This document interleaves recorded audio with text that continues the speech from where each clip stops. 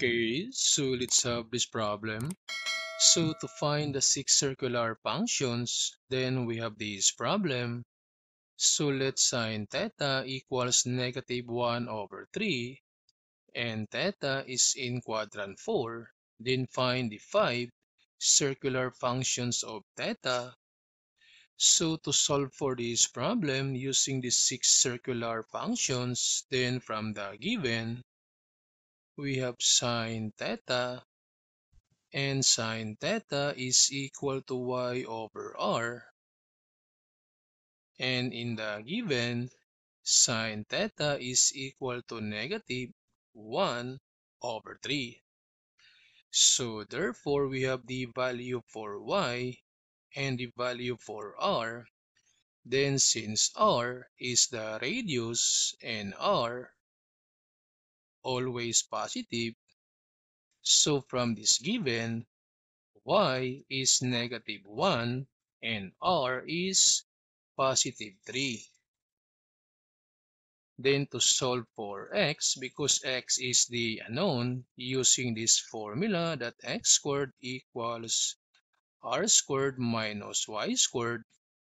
So substitute now the values to solve for x.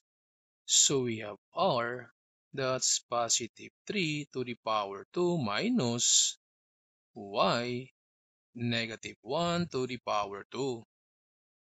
Then simplify, so this 3 to the power 2, that's 9, minus negative 1 to the power 2, that's positive 1. So x squared equals 9 minus 1, that's 8. Then to solve for x, so take the square root, cancel. So therefore x is equal to positive and negative square root of 8. So to find now the exact value for x, since in the problem, theta is in quadrant 4, and in a plane, this is quadrant 4, so in quadrant 4, y is negative and x is positive. So therefore x is positive square root of 8.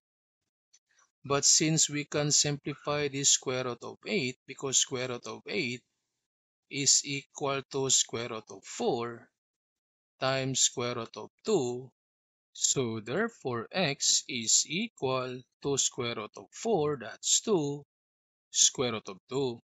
So this is now the value for x. Then since we have now all the three values, x, y, and r, so we can find now the remaining five circular functions of theta. So using this formula, so to find now the remaining five circular functions, so we have cosine theta and cosine theta, that's x over r. So x is 2, square root of 2 over r. r is 3, so this is now for cosine theta.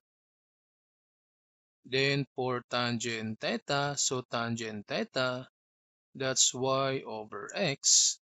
y is negative 1 over x is 2 square root of 2, but we need to rationalize because the denominator contains a radical. So just multiply both sides by square root of 2. So this becomes multiply. It's negative 1 square root of 2 then over 2 times. So just omit the radical on 2. So 2 times 2. So the final answer that's square root of 2 over 4. So this one for tangent theta. Then for cotangent theta, so cotangent theta, x over y.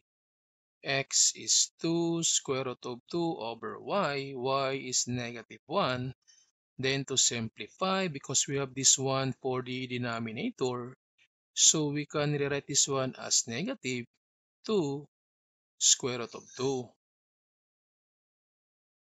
Then for secant theta, so secant theta, that's r over x.